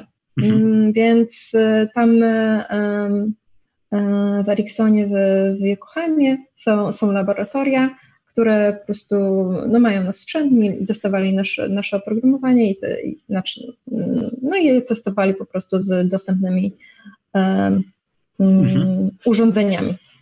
A jak długo byłaś w Japonii? Prawie dwa miesiące prawie dwa miesiące. Jakaś taka złota myśl, która, która gdzieś się, y, czy, która się urodziła po tym wyjeździe, jakbyś oceniła, oceniła Japonię, porównując nie tylko do Polski, ale także pozostałych miejsc, w których miałaś okazję pracować? Mm, no, na pewno zauważyłam, że e, Japończycy bardzo, bardzo poważnie podchodzą do pracy jakby i są bardzo mhm. lo, lojalni w stosunku do, e, do swojego pracodawcy. Jak mhm. mówiłam, że ja pracuję już 7 lat y, u jednego pracodawcy i że to jest taki fenomen i w ogóle, to mhm. oni uważali, że, że, nie, to jest normalne. Pracowanie u jednego pracodawcy całe życie to jest jak najbardziej mhm. powód do dumy. Mm, to, że y, oni bardzo dużo pracują, no to to wszyscy mhm. wiedzą, którzy się interesują Japonią. Dla nich praca jest jakby takim celem ważniejszym niż e, rozrywka czy, czy, mhm. czy rodzina. E, to I zupełnie inaczej niż w Polsce, prawda? Tak, tak to, dokładnie. To jest duża różnica, prawda, kiedy porównamy sobie tak, Japonię z Polską. Tak, zdecydowanie. Oczywiście e, by, były też tam osoby, które mają rodziny i na pewno mhm. nie powiem, że, że, że, nie, że rodzina nie była dla nich ważna, tak? Tylko mhm. na pewno było czuć to, że, że mają tam bardzo wysoką kulturę pracy i, mhm. i, i i o wiele, no, no może nie o wiele, no inaczej po prostu podchodzą do tego, że przychodzą do pracy codziennie, że mają tą pracę, jakaby onakolwiek nie była, bo mhm. to, to też było niesamowite, że e, nie wiem, poszło się na lunch do lunch baru, tak, i pani, e, e, pani kelnerka widać była, że, że jest uśmiechnięta, że jest zadowolona z tego, że pracuje, że, mhm. że w ogóle, że no, robić co, to, co lubi robić, tak? Okej. Okay. E, to Paweł, Twoje doświadczenia związane z, z Chinami, z projektem, który realizowałeś, byś mógł na ten temat więcej opowiedzieć? Wydaje mi się, że nie mogę, ale jeżeli będziecie wchodzić na jakiś duży, nowoczesny obiekt sportowy lub do centrum handlowego i będzie Wam wszystko dobrze pakietowo działać, to możecie o nas pomyśleć, którzy, którzy pracujemy dla Was e, i tak dalej. E, a teraz no więc tego typu to był projekt, no tak naprawdę. I rozumiem, że to jest, okej, okay, rozumiem, że to jest Max, o czym możesz powiedzieć. A powiedz proszę w takim razie wszystko to, co związane e, poza stricte pracą z tą kulturą e, w Chinach, e, jakby się porównał do tego, co, co jest w Polsce, bo tutaj przede wszystkim pracujesz, mm, prawda? To znaczy tak, w momencie, kiedy miałem bramę, powiedzmy, obiektu, no to w tym mhm. momencie nie było żadnej różnicy wręcz, jaka, jaka byłaby, czy bym przeszedł ją w, Krakowie, czy w Łodzi, czy gdzieś w Sztokholmie. To znaczy y, y, sta, standardowy budynek, wyposażenie też stan, standaryzowane dla naszej mhm. firmy. Więc tak naprawdę w momencie, kiedy, o ile całe Chiny faktycznie to jest to jest, to jest bardzo mocne, duże przeżycie. To tak mhm. naprawdę, jeżeli chodzi o firmę, no to standardy, cała firma wtedy była świeża po przejściu na Agile, więc tak naprawdę wszyscy, wszyscy tak naprawdę uczyliśmy się tej nowej metodologii, więc, więc byliśmy na tej samej stronie mhm. tak naprawdę. Więc akurat w pracy no to nie było jakichś takich yy, znaczących różnic, żeby, żeby o nich opowiadać. A, a, ten, a wszystko to, co związane poza pracą, e, jeśli chodzi o Chiny? Jedną ciekawostkę jeszcze powiem, bo teraz mhm. mi się tam przypomniało, że jakby na przykład ktoś chciał jechać na stałe dopracować na Chiny, to warto wziąć pod uwagę, że normalnie to oni tam chyba mają 10 dni urlopu. A pamiętam, bo dla mnie to było szokiem, jak się, jak się dowiedziałem od osoby, która pracowała w Ericssonie, który akurat robił taką specyficzną zagrywkę, że e, ludziom e, umożliwiał pracę pół godziny dziennie, pracę dłużej, żeby mieli 20 dni. Żeby ta ilość dni urlopowych się mniej więcej zgadzała z tym, co mają ludzie na całym mhm. świecie, więc, więc i tak było lepiej, tylko no, jak ktoś pojedzie do innej firmy, to może przeżyć i to taki kolosalny szok tego typu. Mhm. Natomiast jeżeli chodzi o życie, no to wszystko było trudne. Najtrudniejsza była bariera językowa tak naprawdę. To nie jest tak, jak się pojedzie do, do, do Francji, czy do e, jakiejś Szwajcarii, czy gdziekolwiek indziej, to i tak można zagadnąć e, człowieka na ulicy i powiedzmy 30% ludzi wręcz mówi perfekcyjnie i można z nim o najnowszych serialach porozmawiać. To, to mhm. nie, nie ma absolutnie czegoś takiego. Ja pamiętam mój pierwszy weekend, pierwsze zwiedzanie, znalazłem wreszcie najszczęśliwszy na świecie biuro informacji turystycznej, wchodzę, cały zadowolony, hello, a okazało się, że nic. Miałem ochotę wyjść, usiąść na schodach i się popłakać. Stwierdziłem, że to koniec mojego zwiedzania jest tak naprawdę. Ale później wpadłem na taki system, że najlepiej zawsze zagadnąć parę. Dziewczynę z, z chłopakiem, dlatego że dziewczyna na 100%, znaczy może nie na 100%, ale jak ktoś tu mówi po angielsku, to na pewno dziewczyna. A chłopak, jeżeli pytam o jakieś miejsce, które dojść, to mi dobrze, dobrze da. I i naprawdę to jest system, dzięki któremu ja przetrwałem w tych Chinach. I to nie są mhm. żarty. Ja, bez tego ja bym padł. Ja byłem na tyle głupi, że ja pojechałem z chińskim biurem podróży na wycieczkę w góry. I generalnie przewodniczka nie mówiła po angielsku. I w hmm. tym momencie, jak już wsiadłem do autokaru, uświadomiłem sobie, że to był zły pomysł. Na szczęście znalazły się jakieś dwie sympatyczne Chinki, yy, które mnie generalnie no, wręcz poniosły. Mówiły, że mam za nimi iść i tak dalej. Mówiły po angielsku. Także Chińczycy są bardzo życzliwi, to mhm. sympatyczni ludzie, to nie można się powiedzieć, że będzie się człowiek czuł jakoś źle, tylko no bariera językowa jest straszna. Chociaż plus jest taki, że e, Chiny generalnie, jakby się myśli o Chinach, to się często myśli o ich alfabecie, że to jest ogromna, o, ogromny problem. No owszem, to jest problem, tylko na szczęście oni wprowadzają nowy alfabet pinyin tak zwany. On się czyta tak jak angielski, pomimo że to jest ten, ten sam język, tylko zapisany naszym, naszym alfabetem. E, mhm. dla nas zrozumiałem, więc jeżeli były mapy, w tym nawet ulice są tak podpisane, więc to było fajne. Chociaż jeszcze jedna ciekawostka, nie wiadomo czemu mapy Google są przesunięte jakieś, były wtedy przesunięte jakieś 1300 metrów, więc y, jak ktoś myślał, że on sobie wyciągnie aplikację Google i będzie chodził cały szczęśliwy po ulicy, to nie, papierowa mapa i, i, i porównujemy każdy znaczek. Czyli powrót, można powiedzieć, kilkanaście lat wstecz, kiedy to nie było tak powszechnego dostępu do internetu, a Google Ale Maps to, to jeszcze... Przygoda. Ale to była realnie przygoda. Ja uwielbiam chodzić z mapą. Jak gdzieś zwiedzam, zawsze biorę mapy, więc dla mnie to nie było trudne, chociaż powiem Czyli można powiedzieć, że się spełniłeś w takim razie w tych Chinach, tak. mimo że była bariera językowa trzeba było chodzić z papierową mapą, co dziś dla, dla pokolenia powiedzmy mnie współczesnego no jest totalnie nie do pomyślenia przecież no trzeba było typowo po naszemu kombinować i, i, i można się było odnaleźć, tak. Więc... Jasne. E, słuchajcie, na pewno jeszcze będzie pojawiało się sporo wątków dotyczących Chin i Japonii. Przejdziemy trochę do pytań, które pojawiły się od naszej społeczności, za które bardzo serdecznie dziękuję i będę je tak zadawał na przemian raz do Pawła, raz do Agnieszki, bo byśmy nie zdążyli, żebyście odpowiedzieli na wszystkie z tych pytań. Paweł, e, to pierwsze pytanie w takim razie do Ciebie. E, czy wiesz, jak wygląda rynek pracy w Chinach, e, w Chinach i Agnieszka w Japonii w tej chwili, gdyby ktoś miał ochotę pojechać tam, ale totalnie zatrudniając się poza jakąkolwiek firmą, tylko bezpośrednio tam. Macie jakąkolwiek wiedzę na ten temat? Wiedzy nie mam, mhm. ale tak jak mówię, wydaje mi się, że mógłby być szok właśnie związany z pewnymi aspektami. To znaczy o wiele mhm. łatwiej by było faktycznie gdzieś pojechać do firmy, zatrudnić się w firmie europejskiej, która na przykład będzie miała y, pozycję w Chinach, bo trzeba rozróżnić, że można być zatrudnionym gdzieś w Europie i pojechać do Chin na stałe jako miejsce mhm. pracy, a co, czym innego jest delegacja, prawda? Wydaje mi się, że to jest generalnie bez, bez, bezpieczniejszy system, chociażby no, o tym urlopie, tak jak mówię, bo Chińczycy mhm. mają dużo tych jakichś festiwali i tak dalej, ale urlopu jako taką mają bardzo mało i dla nas, Europejczyków, to jest szok. Mhm. Agnieszka, a ty jak y, w związku z właśnie z rynkiem pracy tam? No ja też niestety nie za wiele pomogę. Ja byłam dwa lata temu w, w mhm. Japonii, ale i więc pewnie aż tak dużo się nie zmieniło. E, mhm. Jednak no, nie interesowałam się e, tym rynkiem pracy, ale zgodziłabym się z Pawłem w sensie takim, że e, na pewno jest o wiele wygodniej i o wiele łatwiej, jeżeli no to ma, masz możliwość, żeby to firma cię wysłała tam, tak? E, mhm. Są też czasami takie projekty o wiele dłuższe, że możesz tam po prostu się wręcz przenieść na na przykład na rok i to, to już dopiero ci daje mhm. jakąś tak możliwość y, poznania tej kultury o, wiele lepiej. Mhm. Więc niestety nie pomogę. Okej, okay. E, spoko. Padło takie pytanie społeczności, więc chciałem je po prostu zadać, być może e, mieliście jakąkolwiek wiedzę na ten temat. Słuchajcie, kolejne pytanie, e, tym razem e, od Jana Kaspera, zadane z YouTube'a. Czy faktycznie w Azji pracuje się zdecydowanie więcej godzin w tygodniu? Jak w waszym przypadku to było?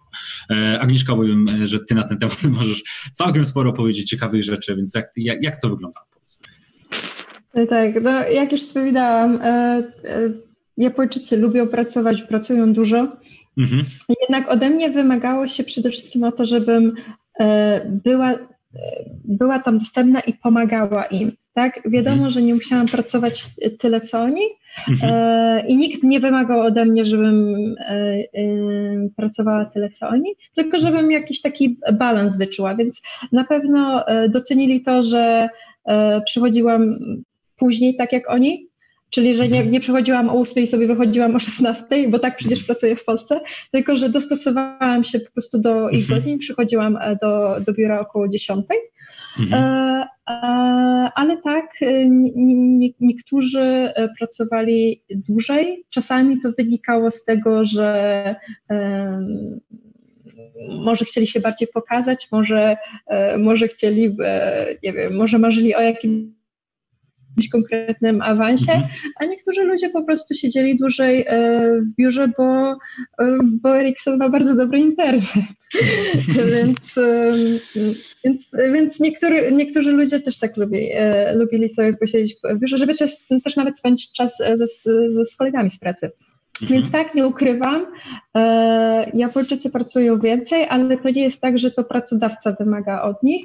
Mhm. Oni po prostu sami chcą zrobić więcej, chcą po prostu e, pokazać się z jak najlepszej strony. Więc mhm, nie wiem, czy to odpowiada, odpowiada na, na to pytanie dobrze, ale no. Tak, tak, tak, Myślę, że dostaniemy też tutaj e, odpowiedź od, od społeczności właśnie w kwestii tego, tego co powiedziałaś. E, Pawle, do Ciebie pytanie odnośnie pracy w Ericssonie. Jak, jak kwestia współpracy z przełożonym, jak kwestia warunków pracy, nie tylko związanych z tym Twoimi podróżami do, do Chin? Mm, a może mogę prosić o uszczególnienie pytania, bo tak z, e, znaczy, zaskoczyłeś mnie, bo myślałem, że będę odpowiadał na to samo i tak. E, nie, chciałem przejść po prostu dalej. Znaczy, to jest po prostu pytanie zadane przez, e, przez społeczność, więc ciężko mi jest je uszczegółowić, ale myślę, że tutaj chodziło po prostu o warunki takie na co dzień, jak kwestia realizacji projektów, kwestia benefitów na przykład. Myślę, że o takie rzeczy chodziło pytającemu. Wow. To tak, jeżeli chodzi o benefity i tego typu rzeczy, wystarczy otworzyć chyba dowolną ofertę pracy Ericssona i tam to jest napisane, więc są te wszystkie multisporty, mm -hmm. są mhm. jakieś dofinansowania, tego typu rzeczy i tak dalej. Mm -hmm. nie, nie, będę się, nie będę się rozwodził, bo to można sprawdzić i to jest dostępne.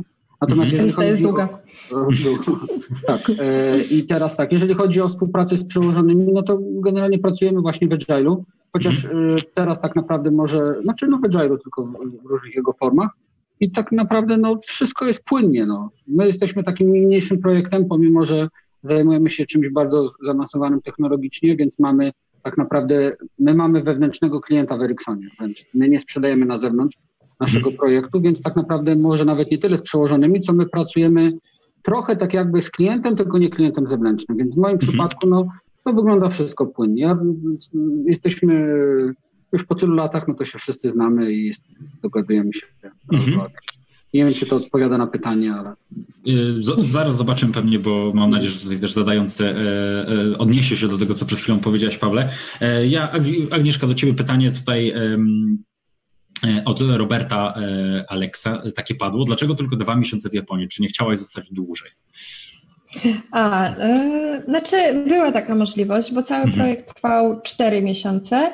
Mhm. Mm, ale że nie chciałam zostawać tam aż tak długo, no bo e, mój mąż był tutaj, e, no, a mi tam samej po prostu było e, mhm. smutno. więc, e, więc postanowiliśmy, że podzielimy projekt na e, dwa równe okresy po, po, po dwa miesiące i mhm. też mój kolega z zespołu pojechał na dwa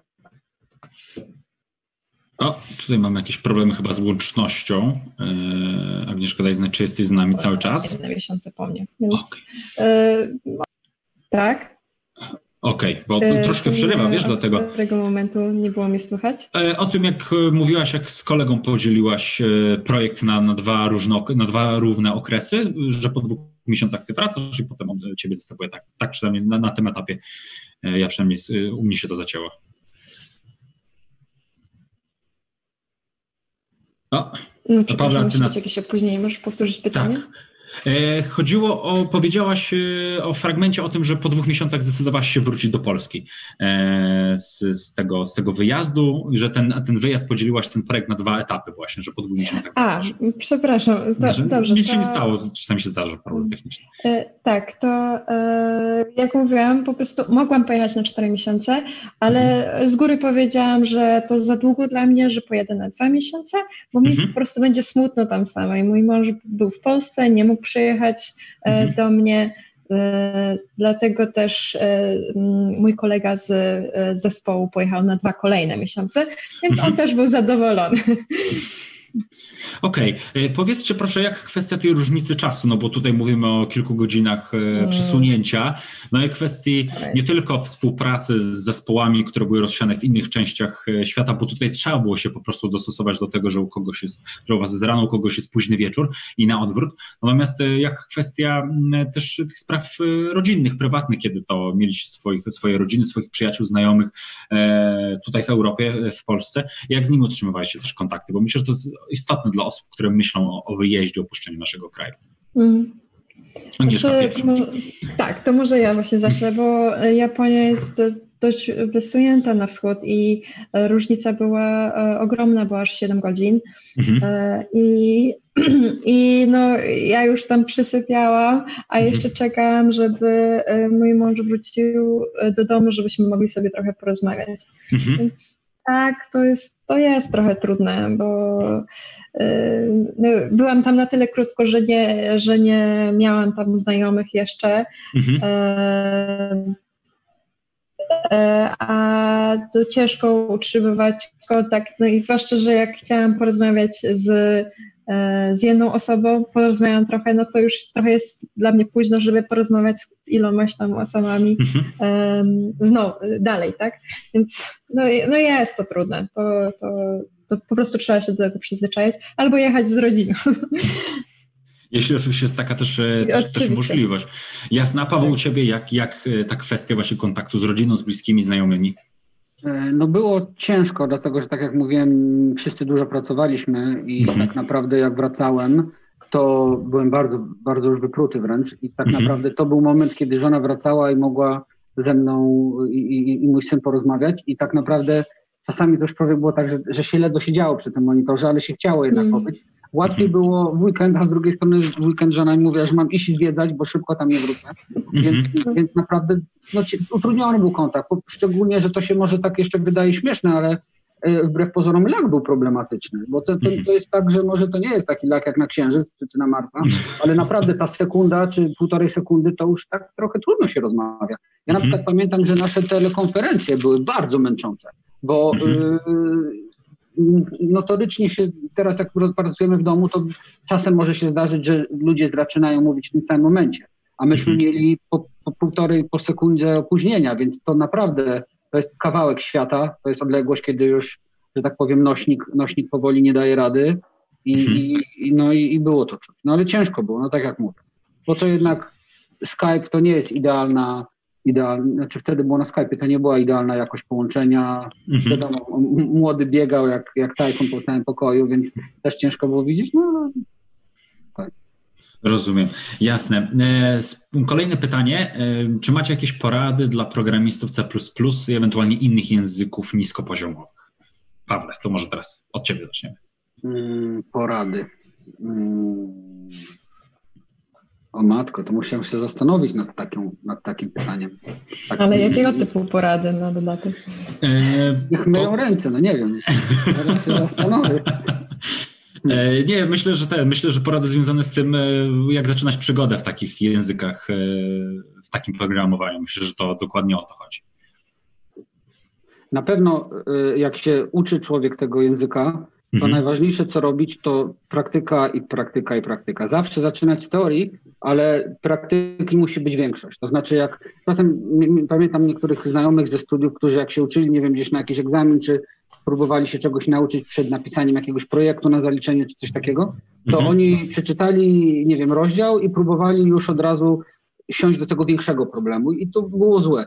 Wbrew pozorom, jak, jak jest dobra książka o programowaniu, to ona ma jednak dużo nie za dużych zadań, powiedzmy. Mhm. One, one, nie są na godzinę, one mogą być nawet na dwa, dwa dni, ale mhm. naprawdę ta praktyka, bo trzeba, trzeba się nauczyć przelewać algorytm na, na język kodu. I to mhm. jest tak naprawdę, i w tym tylko i wyłącznie praktyka. Żadna książka nie nauczy nas, żadne wzorce projektowe tak nas sucho nas nie nauczą. Trzeba siedzieć i pisać. To mhm. jest, trzeba ćwiczyć, żeby być dobrym. Okej, okay, to ja myślę, że kontynuacją tego pytania, i tutaj już do Agnieszki się zwrócę, to są jakie technologie w C++ polecacie do nauki? Czy tylko Boost jako podstawa? Znaczy może ja już nie jestem najlepszym e, mm, autorytetem w tym e, do mhm. tego pytania, żeby odpowiedzieć na to pytanie, bo obecnie już na co dzień nie, pro, e, mhm. nie programuję. Mhm. A na pewno nie w C++, tylko raczej tak jakieś skrypty piszę. Mhm.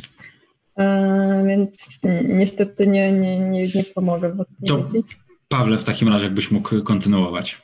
E, no to ja chyba będę musiał prosić o wyjaśnienie pytania. Powiem szczerze, e, ja jestem nawet, powiedziałbym, że moi koledzy mnie określą staroszkolnym, bo ja generalnie lubię, jak coś dobrze działa i szybko mhm. działa, a nie jest e, nie wiadomo jak koronkowo napisane. Także jak ktoś mi wyjaśni, czym jest ten boost, to może mu odpowiem, bo w tym momencie nie wiem, nie wiem, co, co, co tym Jasne. chodzi.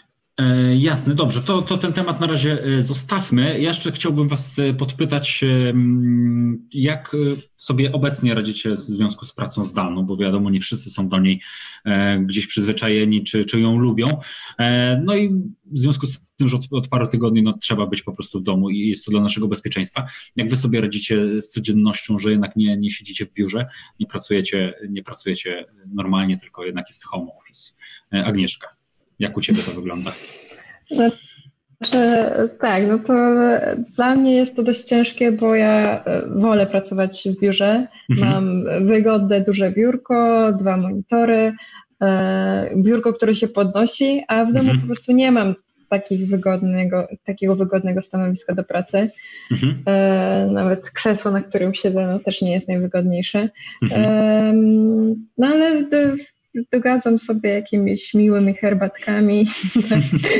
E, e, staram sobie robić też przerwy, mm, tak jak to jest zalecane, żeby chociaż te co 45 minut tak wstać, przejść się mhm. nawet po domu. Ja mam małe mieszkanie, ale trzeba trochę rozprostować nogi. Mhm. E, co prawda nie robię 50 kilometrów, tak jak słyszałam, że potrafią sobie ludzie trenujący do maratonu biegać wokół stołu.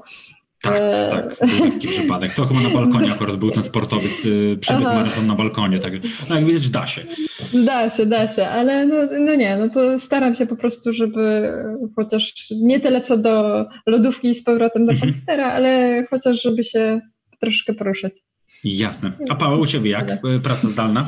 Ja generalnie już wcześniej dość dużo pracowałem zdalnie, więc dla mnie mhm. to nie jest nowość. No wychodzą pewne rzeczy, bo jednak jak się pracuje zdalnie na cały, powiedzmy, etat wręcz, to mhm. wy, wychodzą problemy komunikacyjne. To znaczy jednak łatwiej jest, szczególnie jak się tworzy coś nowego, porozmawiać, zrobić jakąś burzę mózgów, jednak face to face, bo zdalnie, pomimo, że mamy te szerowanie pulpitu i tak dalej, to nie jest to samo, ale tak jak mhm. mówię, ja jestem przyzwyczajony, ja mam, że tak powiem, specjalne miejsce, w którym pracuję, w którym teraz siedzę i, i dla mnie to akurat nie jest problem. Jasne. E, czy tak Was podpytam, czy obecna sytuacja w związku z pracą zdalną, e, z tymi wymaganiami co do pracy zdalnej, jakoś wpłynęła znacząco na realizowane przez Was projekty, zadania, czy w zasadzie nie widzicie żadnej różnicy i tak naprawdę e, wszystko toczy się normalnym torem? Dla mnie e, business as usual, że tak powiem, bo e, tak, no, nie widzę, oprócz tego, że siedzę w innym miejscu, to mhm. ten projekt e, e, trwa tak samo. Mhm. A Paweł, ciebie jak? Żadnych zmian. Tak Żadnych zmian.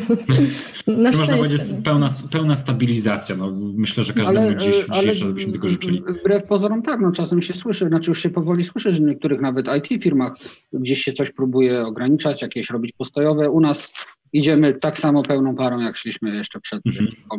To może, można by to posłuchać, że to jest dobry prognostyk na, na najbliższą przyszłość, prawda? Że, że u Was jest po prostu tak stabilnie i te, te projekty normalnie toczą się, toczą się normalnym, normalnym torem. I myślę, że to jest taki. Ja, ja, to, ja to traktuję w kategoriach realnie szczęścia. No w tym momencie mhm. tak naprawdę wręcz życie jest sparaliżowane, a dla mnie zawodowo nie ma żadnej, żadnej różnicy, więc mhm. to, to jest w tym momencie to jest niesamowita stabilność, jaką mamy w firmie u nas. Jasne. E, w zasadzie jeszcze mam jedno do Was pytanie, zanim tak naprawdę będziemy kończyć e, nasz e, live stream. Powiedzcie proszę, czy jeżeli osoba, która pracuje, w która myśli o tym, żeby pracować w Ericssonie, czy ma możliwość również wyjeżdżania do pracy, no bo nie powiem, na dłuższy okres niż tylko realizacja projektu, na przykład do innego, do innego kraju, będąc zatrudniona tutaj w Polsce. Wiecie coś na ten temat? Mieliście takie możliwości? Mogę, Agnieszka? E, proszę, zacznij. E, mamy portal e, rekrutacji wewnętrznej. Teoretycznie każda osoba może w każdej chwili znaleźć odpowiednie dla siebie miejsce pracy w dowolnej jednostce Ericssona na świecie i się i, i mhm. spróbować swoich sił. Nawet pamiętam, że jest taki program, że można po prostu chyba gdzieś na miesiąc pojechać do innego biura, po prostu mhm. popracować. Jest mhm. coś takiego. To znaczy, to nie jest jakoś super ten, ale można zaaplikować i pamiętam, że, że, że rok temu widziałem takie informacje. Mhm. Mhm. Okay. Znaczy właśnie tak, chciałam też powiedzieć, że jest właśnie po prostu u nas rozwinięty ten program wewnętrznej rekrutacji i właśnie oprócz tego, że, że znajdziemy um, ofertę, tak, bo to też jest oferta innego po prostu obszaru, innej organizacji wewnątrz Ericssona, um, to oprócz tego, że znajdziemy tą ofertę, no to też musimy przejść taką trochę wewnętrzną rekrutację, zanim po prostu zaczniemy się pakować i jechać do innego kraju. Więc, mhm. więc to, e, jeżeli ktoś po prostu stwierdzi, że się nudzi, tak, nudzi e, w danym obszarze, bo już mhm. wszystko się nauczył, nie widzi żadnych um, żadnych nowych um, wyzwań, tak, to może po hmm. prostu skorzystać z tej oferty wewnętrznej rekrutacji i też y, y, wtedy przenieść się do innego kraju. Jasne, jasne. Myślę, że to jest taka fajna, fajna puenta tego naszego dzisiejszego spotkania. Ja Wam bardzo serdecznie dziękuję, bo e, minęło półtorej godziny, odkąd sobie tutaj tak fajnie rozmawiamy i bardzo się cieszę, że tak wieloma ciekawostkami, swoimi przede wszystkim doświadczeniami e, podzieliliście się. E, I myślę, że sporo wartościowej wiedzy osoby, które nas dziś słuchały, oglądały, wyniosły. Jak będą się pojawiać jeszcze jakieś pytania, ja je będę zbierał i, i pozwolę sobie je do Was podesłać, żebyście mogli też się wypowiedzieć, żeby nasza społeczność była tutaj też zadowolona, żeby mogli jak najwięcej się po prostu prostu z Waszego doświadczenia mm, e, dowiedzieć. E, naszym, e, naszymi dzisiejszymi gośćmi była Agnieszka Kotowicz-Pogoda, Customer Support Engineer z Ericssona. Bardzo Ci dziękuję Agnieszka za czas. Dzięki. I Paweł Szczudło, Senior Software Developer również z Ericssona. Dzięki Paweł bardzo. Dziękuję bardzo. Zanim się rozłączymy, ja, ja bardzo dziękuję wszystkim dzisiejszym widzom, naszym słuchaczom, że byliście, że byliście aktywni.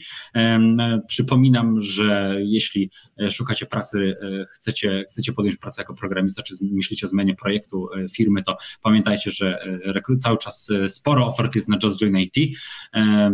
Zbieramy wszystkie najlepsze firmy w jednym miejscu. Wyszliśmy też z nowym, nowym projektem, nowym produktem, który znajdziecie na Just Join IT, ukośnik live. E, chcemy pomóc e, obecnej, chcemy pomóc dużej społeczności IT, która jest e, w Polsce obecna. Szczegóły znajdziecie pod tym linkiem, który również będzie za chwilę dodany w komentarzu pod dzisiejszym live'em.